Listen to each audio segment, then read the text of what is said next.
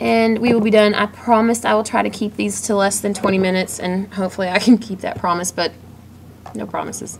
All right, so two things to know whether or not you're going to be able to predict the products or whether or not a reaction is actually going to occur. And this kind of goes with the SRDR lab that you guys just did. Um, you made a list with the single replacement reactions where you ranked the elements based on most reactive to least, and that is actually called an activity series. And the easier an element reacts, then the higher it's going to be on that list. And I, um, whoa, sorry, I went too fast there. Um, an activity series is just a list of elements that's organized according to, it depends on the list, but sometimes it's most reactive to least reactive, and then sometimes it's backwards. The one that I will give you is listed with the most reactive at the top. So with metals, the greater the activity, the easier it is to lose electrons because metals like to become cations. And Oh, I put that right there. Hmm, getting ahead of myself. Non-metals, the greater the activity, it's going to be the opposite. The easier it is for them to gain an electron or become an anion. So that's just how they're ranked and why, and that's why you will actually have two separate lists. You'll have a metals activity series and a non-metals activity series. And the purpose of this is it's used to predict whether or not a single replacement reaction will occur. Activity series are only used for single replacements. You don't use these on double replacements, you don't use them on synthesis, and you don't use them on decomps. Um, the most active element is going to be the one that's higher on your activity series. And basically, the rule is an element can replace anything below it, but not anything above it. And if you want to use the borderline inappropriate relationship analogy, if someone is going to dump who they are with to get with someone else, they're going to move up, not down. Um, and I will give you a copy of the activity series to use on the test so you don't in any way have to memorize that. So, just a couple of practices. Um, if you have zinc and hydrochloric acid, go to your list. If you don't have a list in front of you, then um, go online, just Google activity series, and you'll find one. Just pick one. They're all pretty much the same. So, with zinc and hydrochloric acid, look at the reactants that you have. You have zinc plus hydrochloric acid, HCl. Well, zinc is going to take the place of the hydrogen. So we need to find zinc and hydrogen on our list and make sure that zinc is higher up than hydrogen because if not, then chlorine is going to stick with hydrogen because chlorine's only going to do a switch if it's a move up. And if you look at your activity series, you'll see hydrogen is about in the bottom third and zinc is about in the top third. So zinc is a serious step up for chlorine here, so this reaction will occur and you're going to produce zinc chloride and hydrogen gas. So this reaction will occur. Calcium and lead nitrate. So if we have pure calcium and lead nitrate, and it's lead 2 nitrate, so it's going to be PbNO3 2, is this going to react? Well, look at your list and find calcium and find lead. Calcium is up near the very top and lead is in the bottom half. So again, nitrate will switch partners because calcium is a step up. So you're going to form calcium nitrate and lead. And this one is also balanced, so we're good. And this one will occur. So I'll put a little check mark just for consistency. All right, copper and lithium sulfate. So we have pure copper and we have lithium sulfate, Li2SO4. And looking at your list, you'll see that lithium is at the very top of the list. So basically what that means is sulfate is already with the best that the metals have to offer. So copper isn't looking really appealing, and so this reaction will not occur. So you would just simply put no reaction. RXN is the abbreviation for reaction. bromine and iron 2 chloride. These, uh, let's see, you got bromine. Whoa, sorry. Br2. Iron 2 chloride is going to be FeCl2.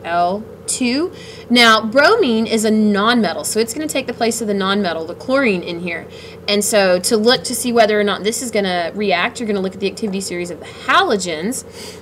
And if bromine is higher on the list than chlorine, then this will react. And if you look at your list, chlorine is actually higher, so iron's going to stick right where he is, and we're not going to have a reaction. All right, solub oh, sorry. solubility is used for double replacement, and double replacement only.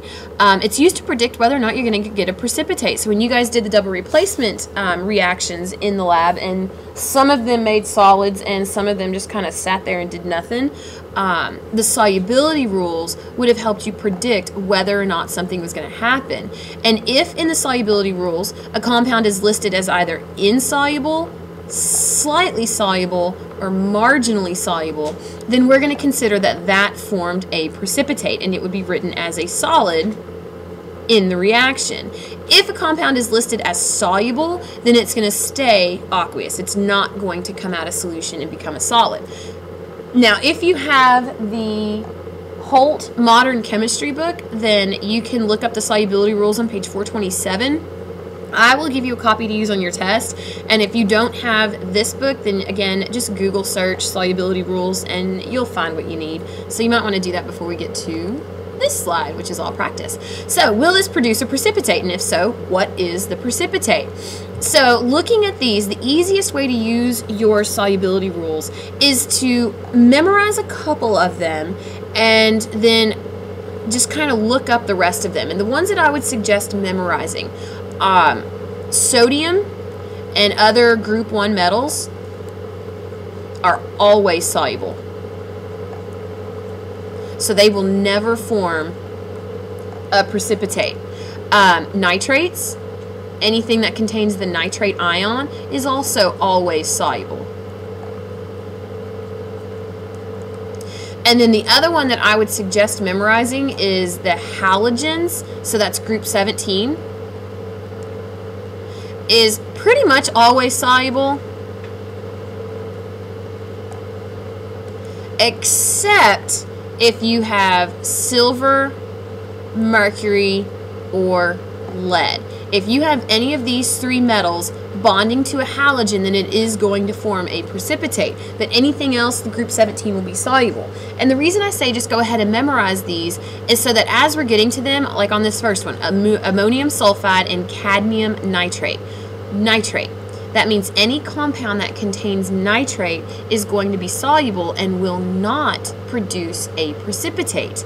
Um, and so we can basically cancel out anything that bonds to nitrate, which leaves us, because this these are all double replacement reactions, and so you'll have ammonium sulfide, NH4, 2S, plus cadmium nitrate, CdNO3, 2, yields and so what's going to happen here is you're going to switch your positive ions. Well, we already know that ammonium nitrate is going to be soluble, so it will not be a precipitate. So we could put NH4NO3, and it's going to stay aqueous. Well, then the other one, cadmium sulfide, CDS. I'm going to look at my um, solubility rules, and I see that one of my solubility rules says most sulfide salts are not soluble. So, cadmium sulfide is going to be my precipitate. One more thing that you can memorize, I forgot to say with ammonia, NH4, things that contain ammonium ion are going to be always soluble.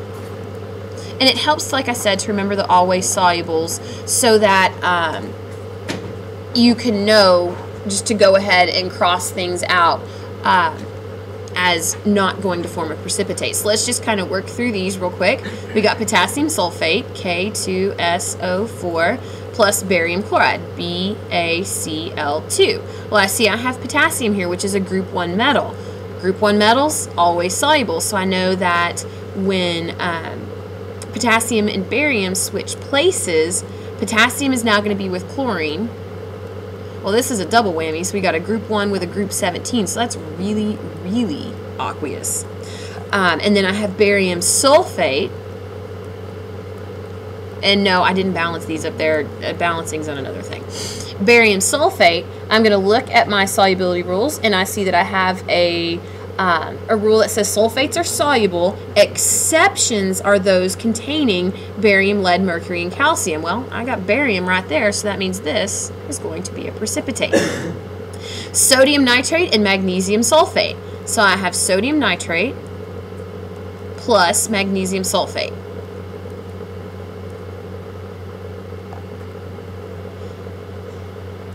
And these guys, I'm going to look at this and go, okay, sodium compounds, always soluble. So when sodium and magnesium switch places, I'm going to make sodium sulfate, which is going to be aqueous, and I'm going to make magnesium nitrate. And nitrates are always um, aqueous. And so that means since both of my products are aqueous, this is actually going to be no reaction.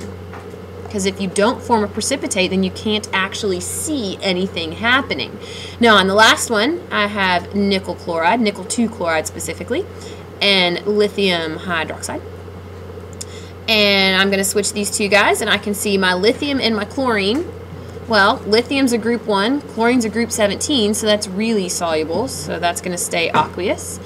Plus the uh, nickel hydroxide. The nickel will stay nickel 2 because this is not a redox reaction. Nickel hydroxide. And I'm going to look at my solubility rules.